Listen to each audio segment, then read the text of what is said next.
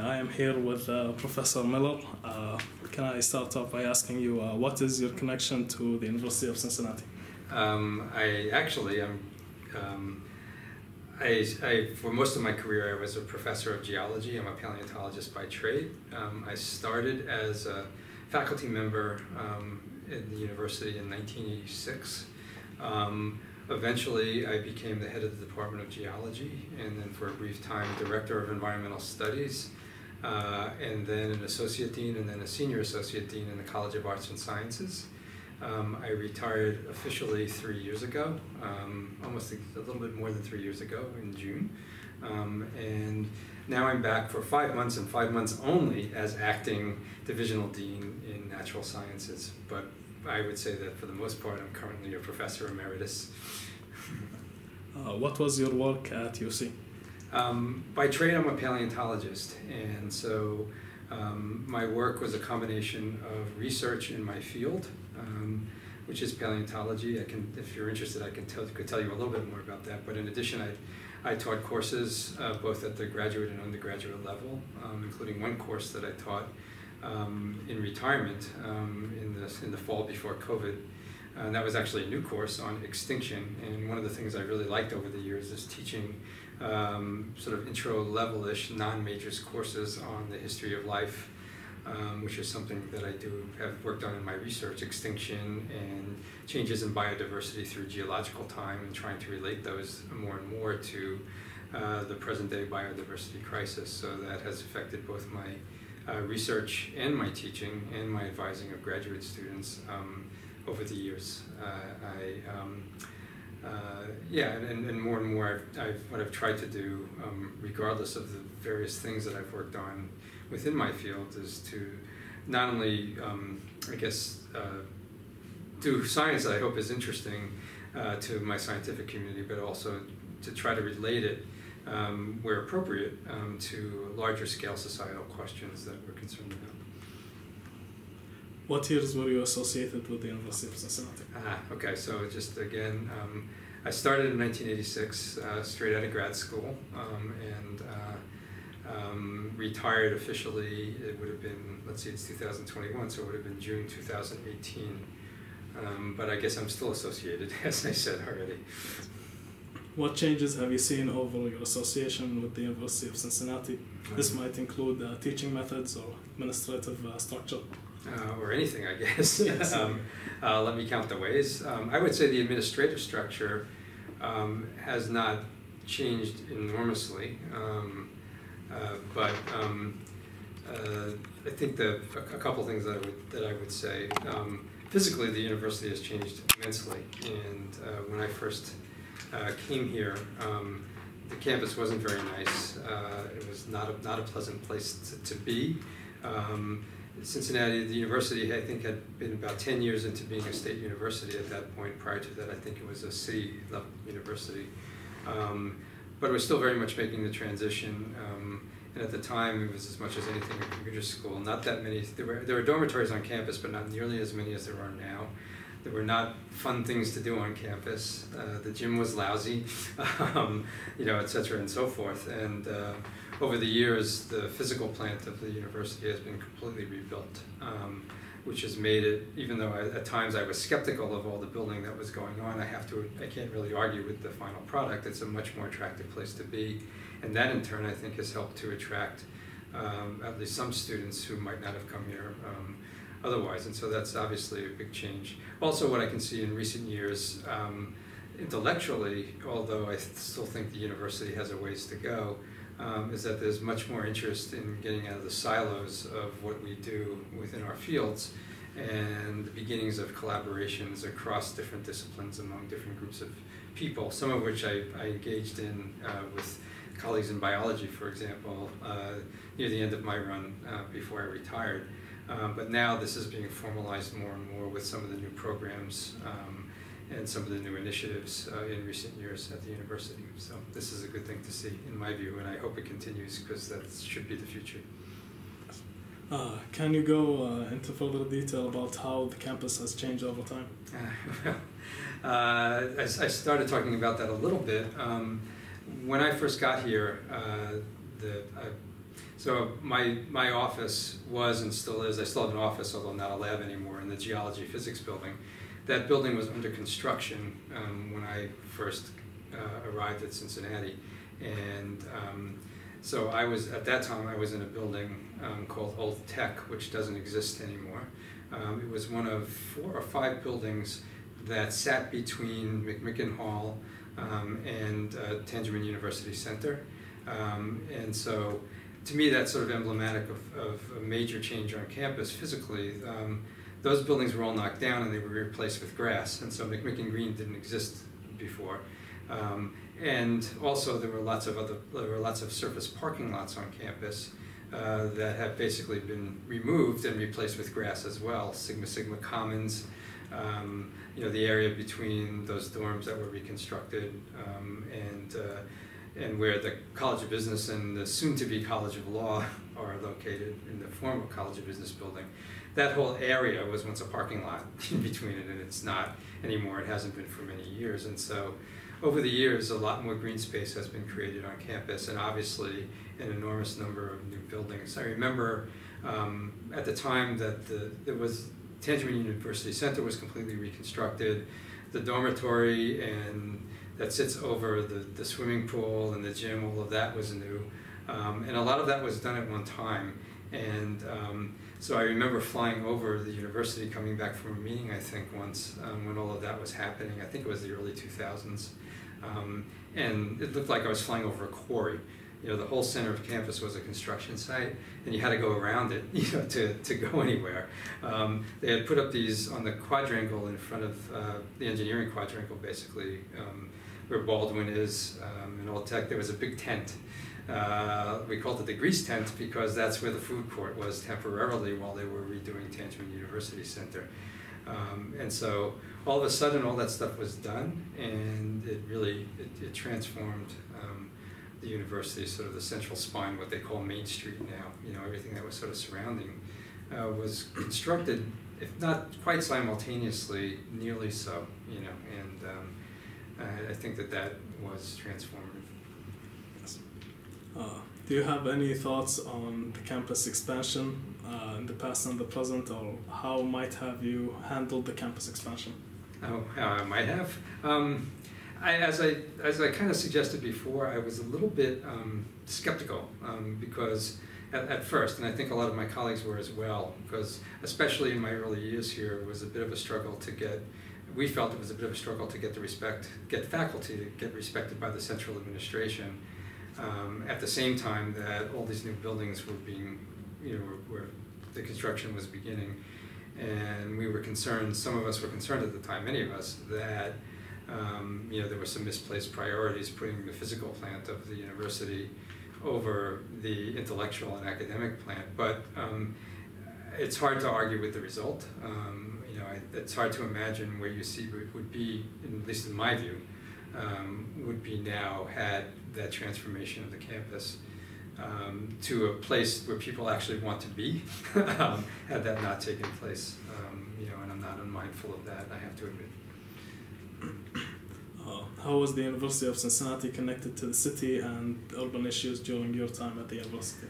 Um, I think that's an ongoing um, uh, struggle is maybe too strong a word, um, uh, but it, it, I felt, I, I, at the time when I first got here, I felt that the university was perhaps especially insular in some ways.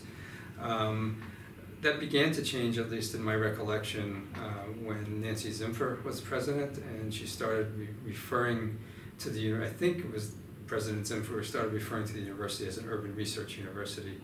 Um, and momentum in that direction has has continued over the years, but um, I'm hopeful that it will continue to pick up. You know, the the city of Cincinnati um, provides um, a real, um, in some some ways, some cases natural, and in some cases unnatural laboratory. Um, you know, for uh, issues running running the gamut of what of intellectually what the university does. Um, you know, everything uh, from it's just about just about every subject you you um, you could think of, you know, whether it's in the natural or social sciences, humanities, arts, uh, you name it. Um, there are th- there are experiences that Cincinnati has had, um, and you know is currently having. Um, that are very important to study, not only because it would be good for the city, um, but because it's it's it's at this it's at simultaneously it would be important for the city for the university to be a real partner um, with uh, the city and the region in solving problems. Um, but at the same time, it's it's obviously has relevance beyond Cincinnati. Cincinnati is a microcosm example of um, so many things that um, I think are important for uh, you know urban centers and surrounding areas and other regions as well. Um, and uh, we've got a real opportunity here to um, uh, to take advantage in a positive way um, of, of, of, those uh, uh, resources may not be quite the right term, um, but those uh, features of Cincinnati, um, including things that have not gone so well over the years. And I feel in some respects, and this is a long-winded answer, I apologize, I feel in some respects that the university has not been the best citizen, um, you know, and the best partner. Um, and uh, um, I'm hopeful. It, it seems to be changing now. Um, I'm hopeful that hopeful that that will continue to evolve. I also get concerned a little bit that you know not just with respect to um, you know the transitions on campus, but some of the some of the changes going on around the campus. You know, and lots of lots of places where new apartments have gone up and things like that, um, and other things have been removed. You know, I think have been done. I've seen universities in other cities do the same thing. The University of Chicago where I got my PhD, um, did this in a big way in the area right around there. They basically took it over, and it's not always to the benefit of uh, of people who were living in those neighborhoods prior to the transitions. Uh, what personal experiences did you have with race and racial issues at the University of Cincinnati? Um, uh, I, I, I, as part of my work, um, I've been very interested in in, in diversity and inclusion, diversity, equity, and inclusion. Um, I, um, I was part of uh, a program uh, called LEAF. It's an acronym. I don't remember what it, what it stands for anymore. But uh, I was actually on, on one of the steering committees for LEAF for a few years. It was an NSF funded project, and it started off as uh, something focused on focused on um, on faculty, and it started off primarily focused on um, on the development and advancement of women faculty, but it eventually broadened out also to consider under, underrepresented minorities. And um, I played a role, um, this is just an example, I played a role in, um, uh, in sort of assessing how the program was doing um, and in making suggestions uh, for how it move, would, you know, might move forward uh, more effectively um, and got interested in a range of different questions um, that I continue to be interested in now and might even have an impact on in my next few months uh, with respect to things like um, uh, integrating um, uh, diversity, equity, inclusion issues more directly into reappointment, promotion, uh, and tenure, and also community-based research, um, which I think is important uh, for collaborating with surrounding areas. Um, also, that's sort of one part of it um, in an administrative context. Um, but um, I guess another thing uh, has to do with my own field, which is paleontology, which is um, the field of paleontology and, and uh, the field of geology in general is not very diverse at all.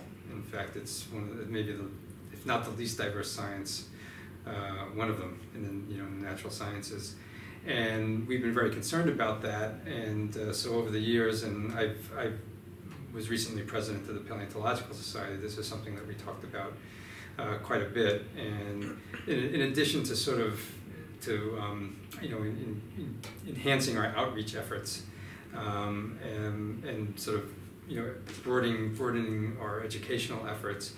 Um, we've also realized that, that one of the problems with geology is in terms of advertising it, you know, as something that people might major in when they're in college. Um, and I made this mistake when I was head of the department. We, we played up too much, you know, being out of doors and going out and camping. Um, you know, and, and that was successful in attracting uh, potential students who like to do that kind of thing because they grew up that way. But there aren't many people who grew up in an inner city who necessarily feel that way. And the fact is that uh, science of geology is much more eclectic than that anyway, and we ought to be talking about the range of things that a geologist does, not just out in the field, but also on a computer, in a laboratory, um, and elsewhere. And we, so we could be doing a much more effective job of talking about the, the own practical diversity of our own science in a way um, that I think would, would attract a more diverse uh, audience and a more diverse pipeline. Um, and so that's something I've thought about and we're, we're taking action on, um, um you know, more and more. Um, also, um, you know, this, this been an interesting time to be at the university in the past, uh, you know, half decade plus, uh, ever since the shooting of Samuel DuBose, which um, impacted the university community, uh, obviously. And I was just coming into my job as senior associate dean in the college as, as after the shooting, and um, you know, tried to um, um and really play a role in college and university dialogue. Um, and uh, last year, um, uh, in the spring, after George Floyd was murdered, just the I was afraid uh, that um, I felt that in the um, after the DuBose shooting there was all this ferment and then it kind of faded away, and I was afraid that that would happen again. And so I just started talking to people about that. It still concerns me that um, we saw this as a galvanizing moment, um, and but I want to make sure that the university moves forward in a different way as a result of those moments. And I'm not yet convinced that that's happening, and so this is something that I want to um, continue to have conversations about, um, you know, with various people who make decisions. uh, did you witness any student protests? Uh, can you describe what happened, if so? Um, uh, yeah, I've, I've seen. I've, i certainly saw some protests uh, during my years on down on Main Street and um, participated in a couple. But also, it depends upon if you want the student protest to be on campus or off, I, I was downtown with a lot of our students and many other people uh, last spring, for example, you know, right in the middle of a, of a couple of marches, including, I think, the biggest march um, I, I'd ever seen in my time in Cincinnati um, that originated on Fountain Square and then went uh, through streets of downtown and ultimately ended up at the courthouse. Um, I think it was on a Sunday um, a year ago, spring. And, you know, certainly the, the those I thought were very, uh, very impactful and, and really meaningful um, and impressive. Um, I've seen, um, you know, some sometimes that that was sublime. I've also seen the ridiculous when we've had a few um, uh, people uh, come on campus and and just literally almost stand up on a milk crate and tell and tell uh, and tell students as they're walking by and then gathering around them that they're um, uh, they're all going to hell, you know, for various reasons. They're sinners in various ways, and then you know this, this sort of goes um, uh, goes back and forth. Um, and so, um, yeah, there have been some very meaningful protests that have taken place um, in the in the wake of the DuBose shooting. I went to um, various meetings, some of which took place organized by student groups in. Uh, in Tangeman University Center, among other places, and a couple of teach-ins actually um, that again I thought were very effective at, at, getting messages out. I just want to make sure that that, that they lead somewhere instead of um, ultimately being forgotten. Uh, how well do you think the University of Cincinnati has dealt with uh, race and students of color during your time? With race and students of color? Yes. Um, I think that they've, they've this is, um, I'm being earnest here, I, I, think they've there's, now a chief diversity officer, and that position did not exist. I don't think when uh, when I started here, and certainly not for many years after I'd been here. Um, I, am a little concerned and continue to be concerned that the the university, you know, wants to be seen as responsive and genuinely genuinely wants to be responsive, um, but there are certain things that need to happen that have not happened yet, I think probably because they would cost a lot of money. Um, and, uh, um, and I think they stand in the way of real change. In my view, um, first and foremost, this university needs more faculty of color. Um, and if there, were, if there were many more faculty of color, and we need many more faculty of color, that would that in turn I think would have a knock-on effect on uh, our, both our undergraduate and graduate student populations in a very positive way. Um, but that takes a real investment, um, and uh, I have not seen that forthcoming. Um, I was hopeful that that we might see the beginnings of that after the DuBose shooting, um, and then you know coming out of um, uh, the Black Lives Matter protests of, of last spring. And this is why I say I'm a, I hope the moment doesn't go by. That's really what I mean. You know, I, I think that that's to me that's there's there's nothing more central. Um, you know, there's, there's there's no more effective. There's that's the only way to really effect change um, at the university uh, in a meaningful way is to is to change the population of faculty who are here, and um, I hope that that will happen one day. It's something I'll continue to nudge for. Um, you know, but I think there's some decisions that would have to be made and a willingness to, you know, invest, you know, very significantly uh, in a way that has not happened as of yet. Uh, how have you seen the role of women change over time at the University of Cincinnati? Um, well, I, I, in, a, in a number of ways, there's certainly more women faculty than when I when I was first here and definitely in the College of Arts and Sciences.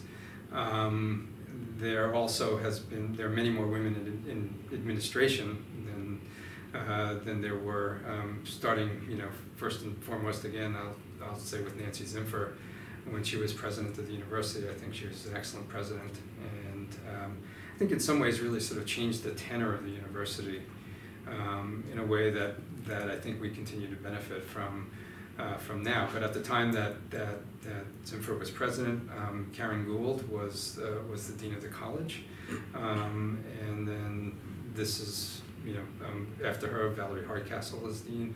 Um, it's much much more common, I think, uh, to have at least in the parts of the university that I'm most familiar with, um, uh, women in in you know in positions um, in administrative positions than there were when I first started here um, in addition to there being an increase in the number of women on the faculty um, as well.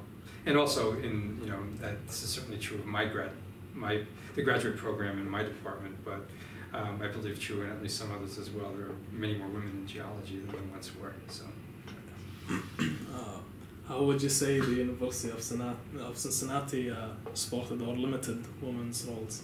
Uh, say, I'm sorry, say that again. Uh, what did the University of Cincinnati do to support or limit women's roles? To support or limit? Um, that's a really good question. Um, I, you know, certainly they've, they've done some things uh, that are supportive. Um, obviously, in, in, you know, in setting up a substrate where women could advance to leadership positions, um, you know, I think that that's a that that's a positive. There are there are programs that have been, um, um, you know, directed. Uh, directed towards uh, women and, and, and women in leadership as well.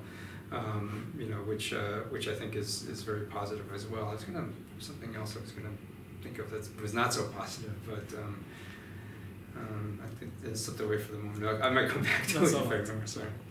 Well, what type of research did you do at the University of Cincinnati? Hmm. And uh, if you had any collaborators or people who impacted your work, who were they? Oh, um, that's a that's a that's a big question. Um, yeah, so my research, as I said before, I'm a paleontologist. Um, I study the history of life. I don't. I, I have never studied dinosaurs. Many people equate paleontology with dinosaurs, but that's not me.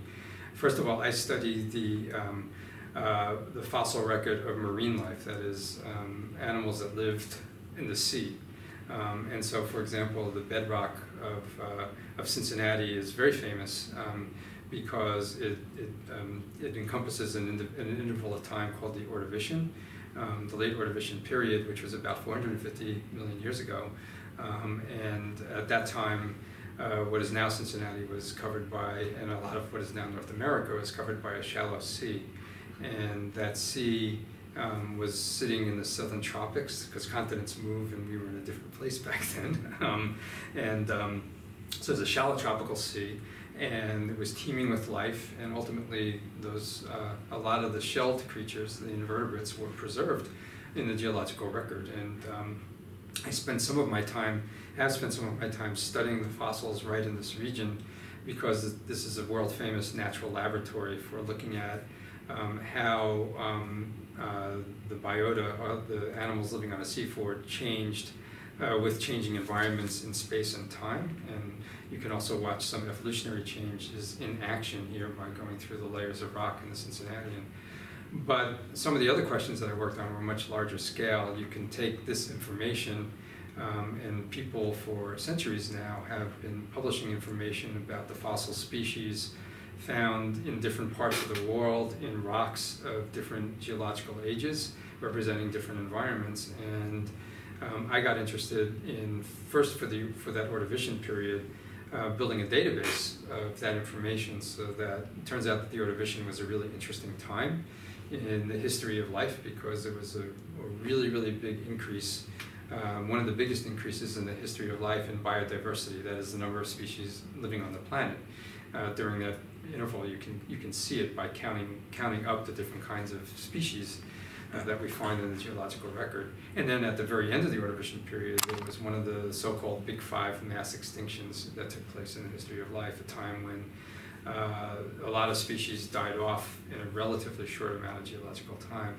And so I got interested in, in learning more about why this might have happened. And one of the things that helped me to do that was to build a database of occurrences from around the world that I could ask, you know, was, was there more extinction here than there was here and so forth this ultimately led myself and, and a bunch of my colleagues to uh, develop a project called the Paleobiology Database, which goes on today. Um, it's, a, it's an online uh, resource that captures that kind of information for all of geological time, all around the world, and, and even for dinosaurs. And so this one you know, includes all fossil organisms. And so people can use those data uh, to, um, to study uh, large-scale questions about um, how biodiversity has changed and where it has changed, and hopefully learn a little bit of something about why it has changed. And so that's been a big thrust of my career. And then um, I would say the, the, the, other major one has, has involved working underwater. Um, that uh, um, I, I'm interested um, in sort of how fossils accumulate on the seafloor um, because I study marine fossil assemblages and we know uh, there's evidence in the rocks around Cincinnati that while this shallow tropical sea was sitting not far from the equator back in the Ordovician, it was subject to incredible hurricanes, uh, much stronger than what we see today, simply because there's no analog for this, you know, relatively shallow sea, you know, sitting in such a warm environment. And, and uh, ancient storms in layer after layer in the Cincinnatian, and so that raises questions about how storms can affect um, the distribution, you know, the distribution of species that we see in those layers. And so um, I've actually spent some time studying uh, the accumulation of of layers of shells on seafloors, uh, working down in the Caribbean where I lived for a time, um, working at a marine lab a long time ago. Um, and, uh, and those accumulations are useful not only for trying to get a sense of how good the resolution of skeletal material deposited after these species are no longer living um, and, and subject to being moved around, how, how, how is the acuity of that fossil material, uh, especially after hurricanes hit. I had the good or bad fortune, depending upon how you look on it, look at it, to have um, had a group down in St. Croix a few years after I got to Cincinnati. Um, not expecting a hurricane to hit, but one did, um, a big hurricane called Hurricane Hugo.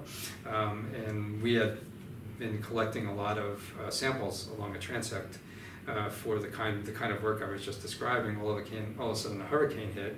Um, this gave us, it was awful, and um, a lot one could say about it, but um, it gave us an opportunity scientifically to then go back and sample the same, from exactly the same places after the hurricane to see how much the hurricane affected distributions directly. And so um, that's another um, you know part of what I do. Those accumulations are also useful um, in for studying. Um, you know, it's not just for trying to understand the fossil record, but also understanding uh, more recent changes to environments that humans have induced, so-called anthropogenic changes, because that record, um, if usually when an environment changes significantly, you know, because of human activity, what lives there changes and you can actually see that in the accumulating record. One of my students and I a few years back, um, did some analyses just to demonstrate that the record itself, the accumulating record, actually had the acuity to um, to detect those those mm-hmm. changes, and so that's a. And I also work on reefs. And then finally, the last thing I'll say, and this relates to collaborations. Um, you know, in addition to having some mentors who were very important in my career, um, you know, when I was in graduate school um, back at the University of Chicago, and obviously some people here who in the in the, in the geology and paleontology program who were close, close colleagues.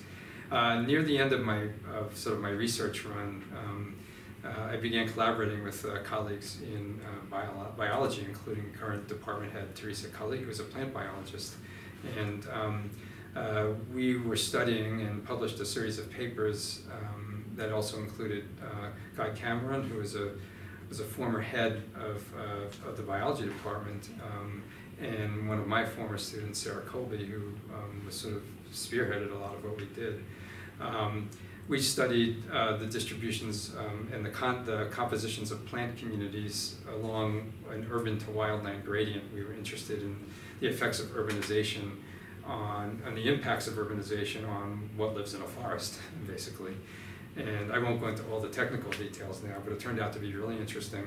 And it was very cool because I was um, I was applying some of the principles I used to study in the, in the fossil record, the same kinds of things, sampling here, sampling there, sampling there, and then seeing how uh, compositions of things living on a seafloor uh, change as you go from one environment to the next, where you can do the same thing with, with plants living in a forest. And so it was censusing and then using a lot of the same quantitative methods that we did in you know, the work I was more commonly doing. And so it was wonderful to be able to collaborate with my colleagues in biology um, on that work. And it was a, it was a, a nice culmination. So, yeah. uh, what were athletics like during your time at the University of Cincinnati?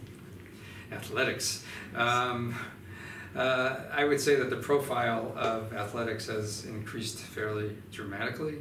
Um, when I first got here, uh, the football team wasn't very good and neither was the basketball team. And the basketball team was, was not playing on campus. I think they were just beginning to construct uh, what was called the Shoemaker, Shoemaker Center at the time. I believe it's, it's now called Fifth Third Arena. Um, and they, at that time, they were playing home games um, at, uh, uh, for one year at what was then called Riverfront Coliseum, what I forget, what I don't even know what it's called now, the arena downtown. Then they played for a year or two at this place called Cincinnati Gardens, which has since been demolished, and then they moved on to campus. I think coinciding with around the time they moved on to campus, the basketball team began to improve a lot, um, and uh, um, and so it's actually been interesting to more interesting to watch their games. Similarly, as you know, in the past decade, the football team has improved. Decade plus now has improved um, uh, pretty dramatically, and um, so um, you know, again, this is one of these things like construction where I kind of have, have mixed feelings, especially given the investment in athletics. On the other hand, I'm not unmindful that to students in particular, having successful athletic programs is a draw, especially for, well, mostly for undergraduate students. Um, and so certainly the profile, the athletic profile of the university has increased in the time that I've been here. Having said that, um, there was a time well before I got here where the university's basketball team won two national championships in a row.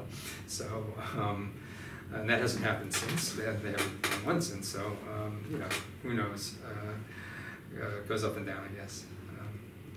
Um, uh, how do you think the student experience changed over your time? Oh, but I do want to say one more about oh, athletics. Ahead, um, um, I'm really impressed, I, in part because my uh, neighborhood was across the street from me. Um, right here in Clifton, is the coach of the volleyball team, and uh, I was very impressed. Um, I thought it was really, really. This reminds me. I thought it was really cool that there were uh, several uh, athletes uh, with. Uh, uh, with UC connections, who played in the most in the Olympics just concluded in Tokyo, including a really, really good volleyball player, and who I enjoyed watching until she sprained her ankle. Um, but then the team won gold medal, and she was a real anchor for, especially for the first half of the tournament. So. Yeah, had to throw that in. Oh, that's.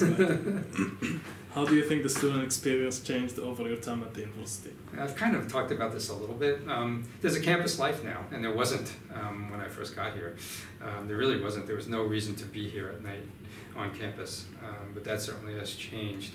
Um, and I think there's a lot more for a student to do.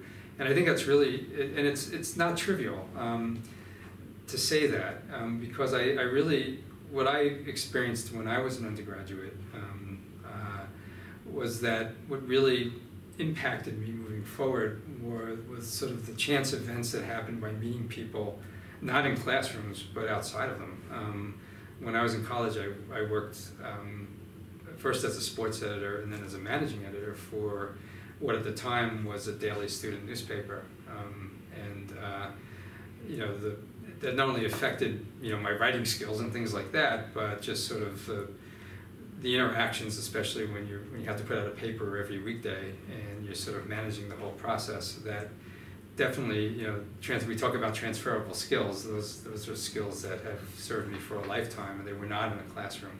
Um, and there were other things that happened that caused me to encounter people that, and you know, I won't go into all the details now, but you know, impacted the career choices that I made.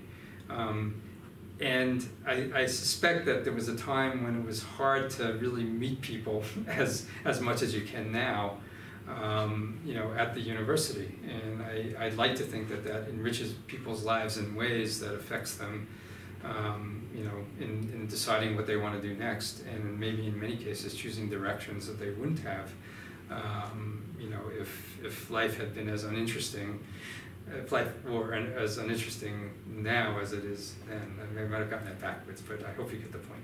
Yes. uh, what were conditions like for faculty, for faculty, and uh, what role did you play in the union? Oh, I was actually. Um, uh, faculty, I think conditions have improved, um, and I think that's partly, you know, thanks to the university having become a state university, but also thanks to us, I think, definitely thanks to us having a unionized uh, um, uh, faculty. Um, I think the AAUP has been instrumental in, you know, looking out for our rights. I think a lot of faculty tend to be insular. I hope that that's changing anyway, because I want all faculty to pay more attention to and, and act more in the outside world. Um, but let's face it, they don't as much as, and it's it's good to know that that uh, that union leadership was looking out for our our, our rights over the years, um, especially as they relate to um, uh, security, um, not just health benefits and salary, um, um, but also you know basic basic rights as faculty members. Um, I I actually went on strike in, in uh, uh, I think it was, I want to say 1992, something like that, um, when uh, we had a one-week strike. Um, and uh, um, at the time, the, the president really was intent on, I, I think he thought that um, he could break the union. And he had a, a chief negotiator who um, really was intent on doing so, and it didn't happen. And so I think it, I think the, you know, the outcome of the strike tend, turned out to be more or less a wash. Um, but you know, I think the union um, remained and you know, even thrived in the years since.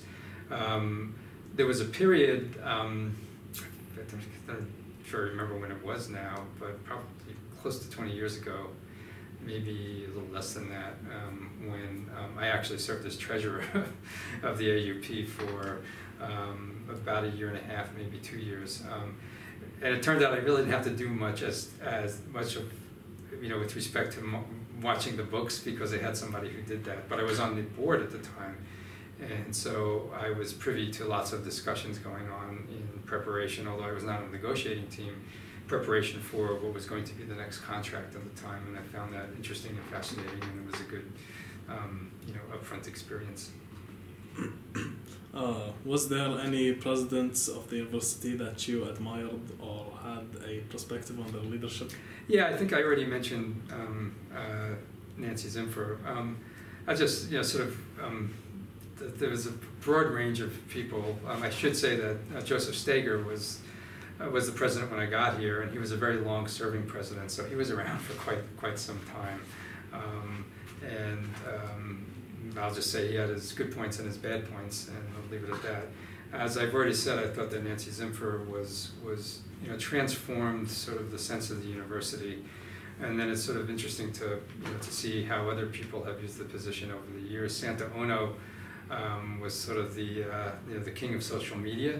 Everybody wanted their picture taken with Santa Ono, um, and uh, he had been provost before he was president. Um, I think he was a better president than he was a provost because I don't think he was really interested or wasn't.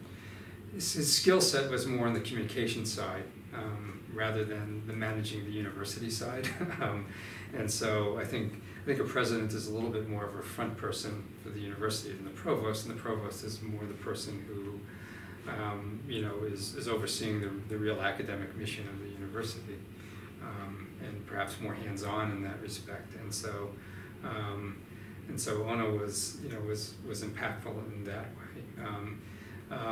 I like Neville Pinto. Um, I he's, he's not nearly as um, out there as Ono. Sometimes I wish he were a little bit more. On the other hand, um, he's very dedicated to the university, um, and um, um, and I think he's in, in it for the long haul, which I see that as a positive. One thing that concerned me for a period of time at the university, not that I want our, our presidents to stay around for two decades, um, but I also don't want them to change every two years. And we've had a bit of a revolving, we had a bit of a revolving door for a while um, both for presidents and provosts, and it would be nice to have a stable period because I think it, I think every every administrator at every level, you know, has a learning curve, and sometimes just as people were getting up to the point where they're ready ready to do something, they would leave, you know, and um, I think it's important to stay around for a while, but not too long.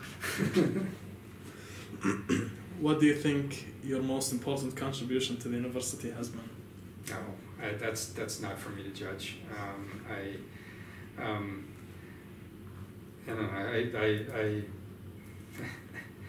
here's here's what I might say. Um, I um, you know I've, I've, gotten some things done in research and, in administration and in teaching, but um, I, I, I so I for more than two decades I taught um, an intro level course on the history of life for non majors and it tended to have about 100 students in it. Um, this is just before the switch to semesters, and then um, things changed, and so the courses were not that, that large after that.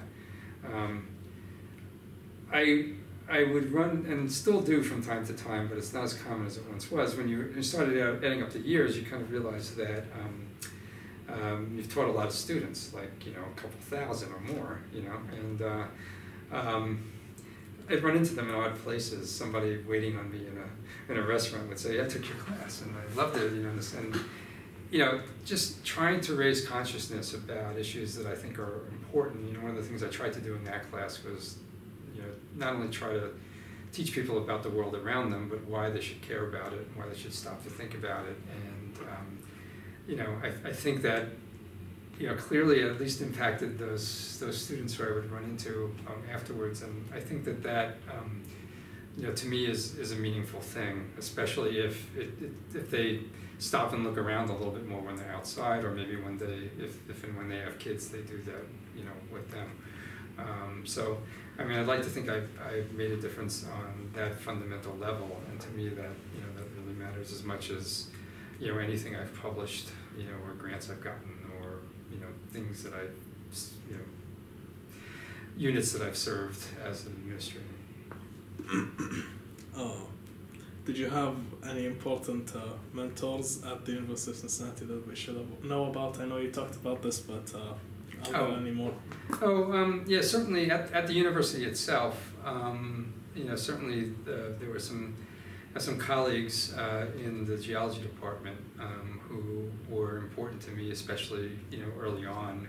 Uh, Dave Meyer, um, Carl Brett came later, um, so you know he actually I was I was here for uh, almost 13 years before he got here, but he but he was an influence on me before he got here because he was somebody I knew you know in field field like mine. What's really interesting about it is that it's it's very personable and personal because it's not that big a field. Um, but it's also worldwide, you know, and so you get to know people on a first name basis around the world, you know, meeting them at different meetings, in some cases traveling to where they are and so forth. Carl was somebody I knew for a long time, and so he was sort of a, men- a bit of a mentor from afar um, before he came here as a faculty member, but obviously you know, his presence was important to me, along with Dave Meyer, who was also, you know, he was on the faculty as a paleontologist when I got here, and I think he was the chair of the search committee that, that um, um, you know, that hired me. And, uh, um, you know, those are a couple of examples of, of people who come to mind. Uh, would you say you liked your experience in general at the University of Cincinnati? Yes. Um, you know, I, I'll tell you why. Um, because I, I believed, um, first of all, it's been a really interesting place to be. It's been fun to watch it change over the years. Um, I think the fact that I've come, that I came back for five months, and only you know to do this this um, you know this acting job. Um, I think is testimony to that. If I hated the place, I wouldn't have done that. Um, I don't want to come back forever. I, I like retirement, you know, um, but um, but I, I, like it enough, and I remain fascinated enough by the university as an institution that I still want to be at least a little part of it, you know, from time to time. But you know, in terms of um, personal and professional development, this was a wonderful place for me. I, I felt, I always felt that, um, I always felt supported, you know, and I felt that uh, if, um, uh, you know, if, if I, first of all, I felt supported in, in being able to do my work and do it well, and I felt in turn, if I did it well, I would be recognized for it, and I was, you know, and so um, I felt that the, that the university kept its promise. And this reminds me of something I was going to say um, on the not so po positive side with respect to with respect to women. I still think, um, and I think it continues, you know, to this day. Um, there's an imbalance in um, in the in I think that I don't know if demand is the right way, but on the responsibilities put on women um, at the university to, play service roles. And I think in some cases, you know, more so than men, maybe because men um, are, at least some of the men on our faculty are not willing to step up and play those roles. And so, you know, in the breach, you know, women are more likely to step up, it seems sometimes. And I think sometimes that's been not, not, to, not to detriment per se, but it's impeded sometimes uh, develop, you know, professional development in other ways. And I think that the university has to do a much more conscious and conscientious job of, of leveling the playing field in that respect. I think it's really important. I think that's also true for underrepresented groups, um, you know, who, especially because, you know, there are so few, um, you know, black faculty, for example, on campus. Um, um, black faculty often get called upon, you know, and much more frequently than I think white men especially, uh, you know, to serve on high-level search committees, which can be a lot of work um, and then they're not rewarded for it, you know, and it's, never, you know, it's not taken into account enough. But I think, you know, with, since you asked the question about women before, I think that that's something that, um, and I meant to say, but then it fell out of my head. I think that's that's something where the university really still needs to make progress. Um, and with more women in um, significant administrative positions over the years, um, and hopefully continuing into the future, um, I, am hopeful that that's an imbalance that can be addressed more effectively. Uh, is there anything you would like to talk about that I haven't asked you? uh, not that I can think of. Uh, Am I slouching too much? Oh, no, you're fine. Uh, thank you very much for your time, Professor Miller. It's been a pleasure, really. Thank you.